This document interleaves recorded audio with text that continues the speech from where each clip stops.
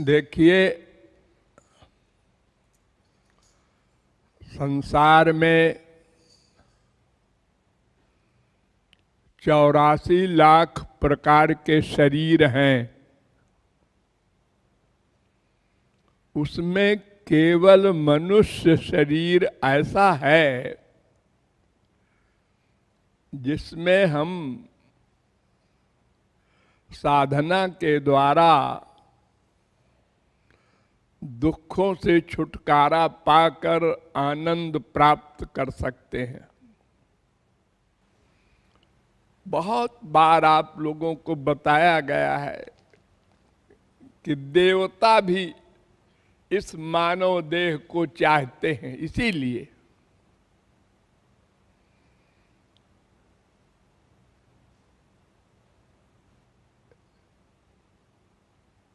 सात अरब आदमियों में सात करोड़ भी ऐसे नहीं हैं जिनके ऊपर भगवान की ऐसी कृपा हो कि कोई बताने वाला सही सही ज्ञान करा दे। कि क्या करने से तुम्हारे दुख चले जाएँगे और आनंद मिल जाएगा?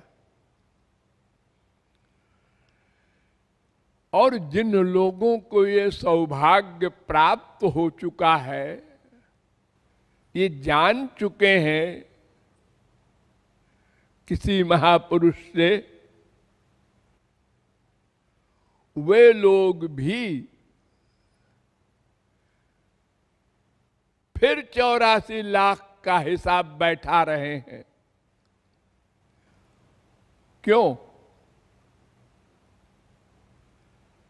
एक उत्तर है, लापरवाही। लापरवाही। हमारे पास दो चीज़ है, एक शरीर, एक आत्मा। जब हम जान गए कि आत्मा का कल्याण, असली कल्याण है, शरीर को तो दो रोटी मिल गई। शरीर ने कहा, बस ठीक है, हो गया।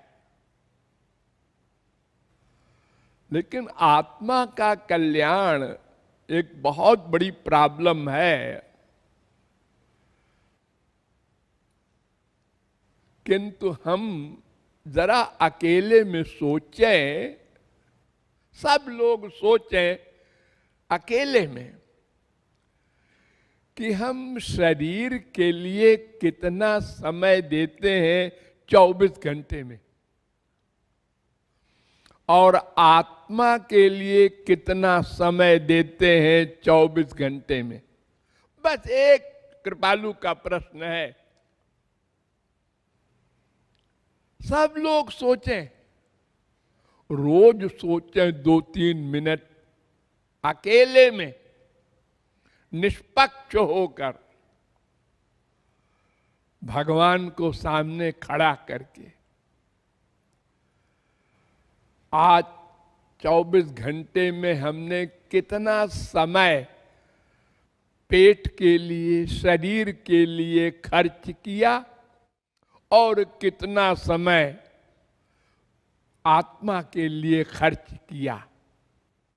और इसमें हम आत्मा के लिए कितना बचा सकते थे और नहीं बचाया? हमको एक घंटे मिला था चार से पाँच तक खाली। उस समय हमने क्या किया? कहा गए? क्या बोले? क्या सुना किसी की बात? क्या सोचा मन से? और क्यों? इसके बिना भी काम चल सकता था। इस समय का हम उपयोग भगवान के निमित्त कर सकते थे। अगर कल का दिन हमको न मिला तो आज तक का ही तो हिसाब किताब भगवान हमको फल देंगे।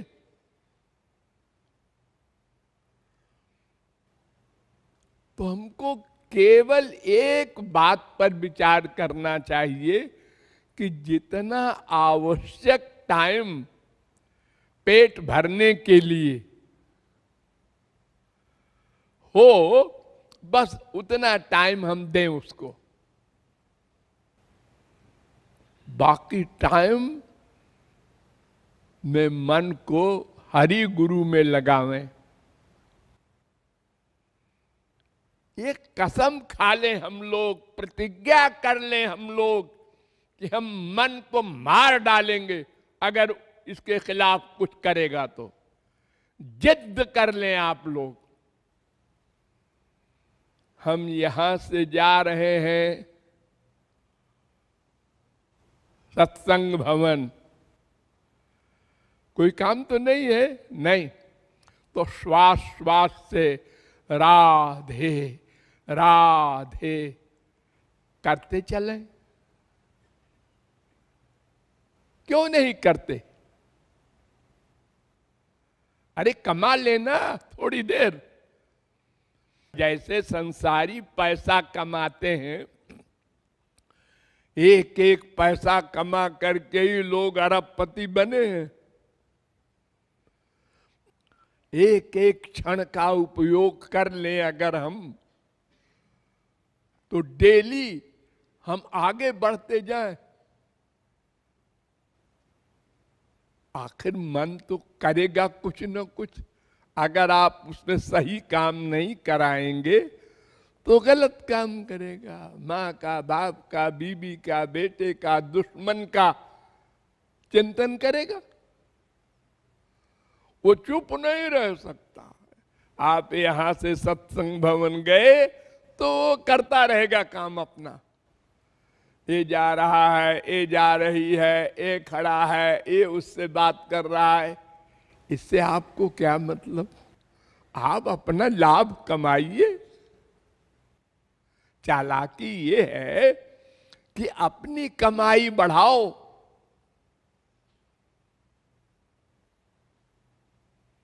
केवल श्वास से राधे, बोलने में क्या परिश्रम है? कोई जानेगा भी नहीं ये क्या करता जा रहा है यहाँ से सत्संग भवन तक। और हमने कमाई कर ली चोरी चोरी दिन भर आप चलते रहते हैं। तो चलते समय भी आपको चिंतन तो करना पड़ेगा।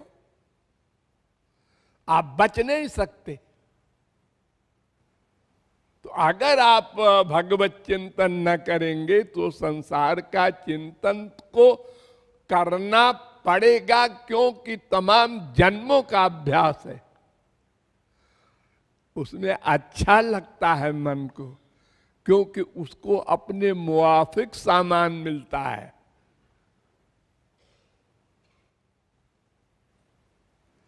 लेकिन उसका कोई फल नहीं, बल्कि हानि है। क्योंकि मन में संसार आ रहा है, हम यहाँ से अस्पताल जा रहे हैं। अरे हम बाथरूम भी जा रहे हैं तो हम कार्य पाँच, दो मिनट का समय, पाँच मिनट का समय है। हम राधे नाम का जप करते हुए जाए। कमाई कर ले उतनी देर में। खाली बैठे हैं, एक और बगल में बैठा है, अब उससे बोलने को मन कर रहा है। क्या बोले? कब भाई कब जाओगे?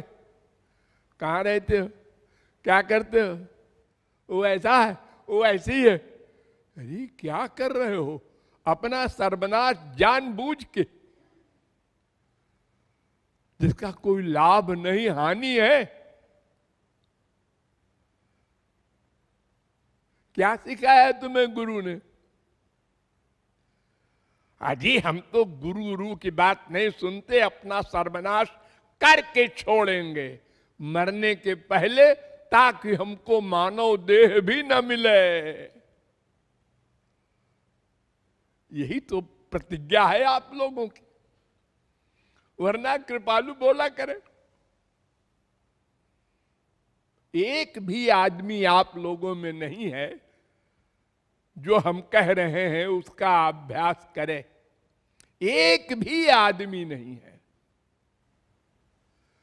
और कितने सब आप लोग घर छोड़ छोड़ के आए हैं। भगवान के निमित्त दूसरे की बुराई का चिंतन, गंदगी का चिंतन या अपने ही परिवार का चिंतन हो रहा है। ये क्यों? तो आप लोग फिर से सोचें। गंभीरता से सोचें। और यह भी सोचें, कल का दिन मिले ना मिले। जो करना है, आज कर लो। अंतिम समय अगर हमारी भगवत भावना रहेगी तो मानव देह चैलेंज के साथ मिलेगा। और जो बाकी है, उसको हम पूरा कर लेंगे। और अगर अंतिम समय गंदा चिंतन चल रहा है तो मरने के बाद उसी की ओर उसी में जन्म होगा। ये सौ बार आपको बताया गया है कि जड़ भरत शरी के परमहंस को भी हिरण बनना पड़ा। अंतिम समय में हिरण का चिंतन किया।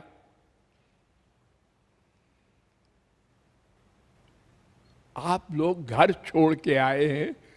फिर घर वालों का चिंतन क्यों करते हैं? क्यों नहीं सोच लेते सब मर गए?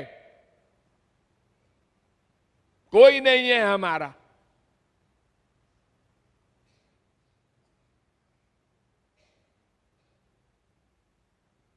उनसे स्वार्थ है। अरे तो स्वार्थ है तो चिंतन करने से क्या मिलेगा तुमको? अगर किसी को स्वार्थ भी हो तो थोड़ी सी एक्टिंग कर दो कभी। अरे बेटा, तेरी बहुत याद आती है रे बोल खत्म। रोज फ़ोन हो रहा है, बातें हो रही हैं, गप्पे हो रही हैं।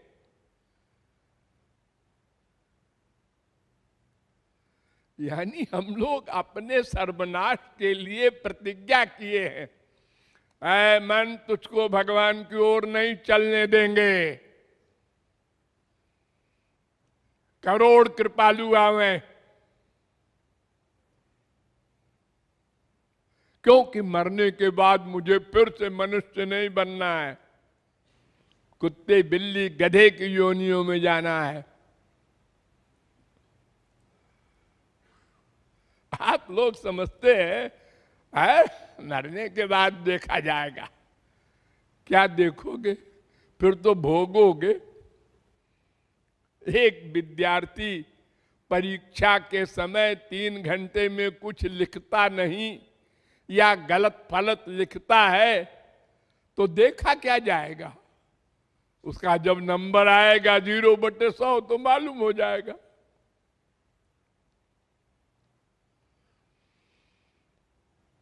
तो मैं फिर से आप लोगों से निवेदन करता हूँ, आज्ञा देता हूँ, प्रार्थना करता हूँ कि आप लोग अभ्यास करें। अगर आप लोग मेरी बात मान के दस दिन भी अभ्यास कर लेंगे तो फिर आपको आदत पड़ जाएगी। फिर आपसे रहा नहीं जाएगा। बिना राधे जप किए।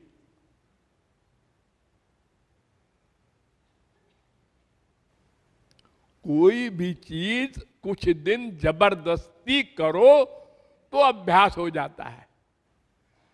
छोटी छोटी चीज़ें, गंदी चीज़ें, सिगरेट है, बीड़ी है, चाय है, हम कुछ दिन ज़बरदस्ती उसका सेवन कर लेते हैं तो वो खोपड़ी में आके पिंच करती है।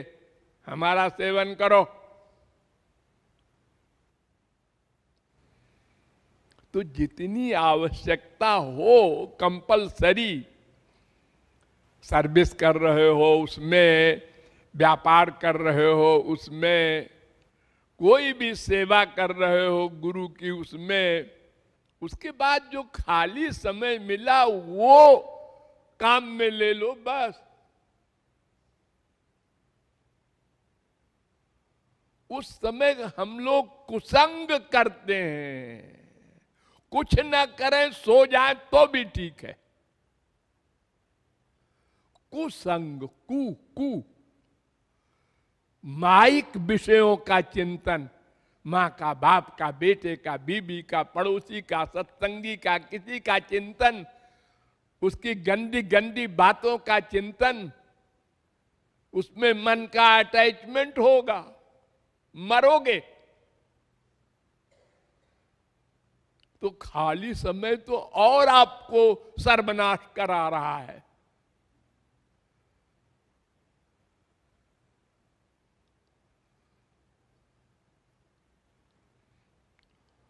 मैं एक उदाहरण दूँ।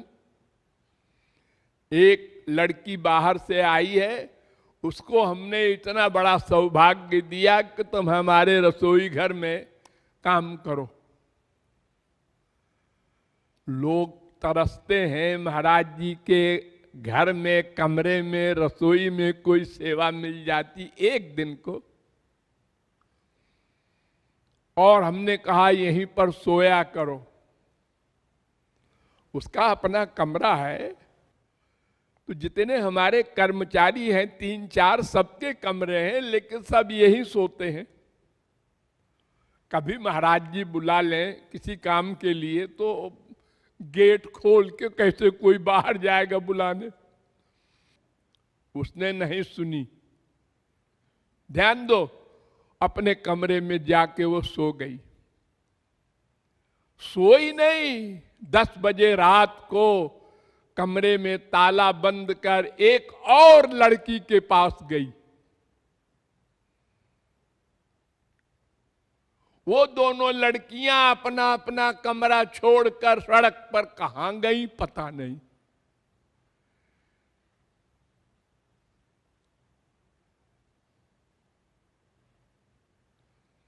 क्या मीटिंग कर रही हैं दोनों, प्रलय करेंगी कि सृष्टि करेंगी? अब आप लोग सोचिए, ये सर्वनाश पर तुले हैं ना लोग। गुरु से भी चोरी भगवान से भी चोरी और दस बजे रात के बाद आश्रम में ही इतनी बड़ी 420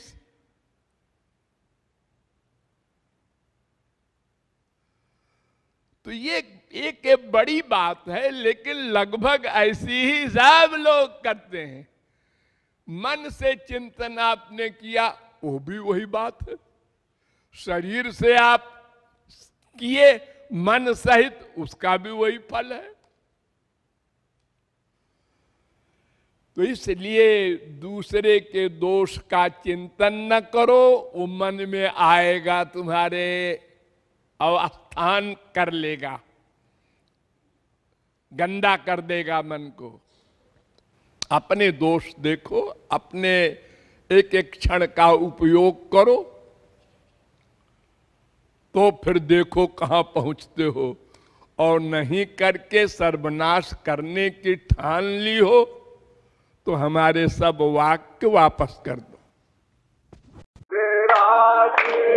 Yeah.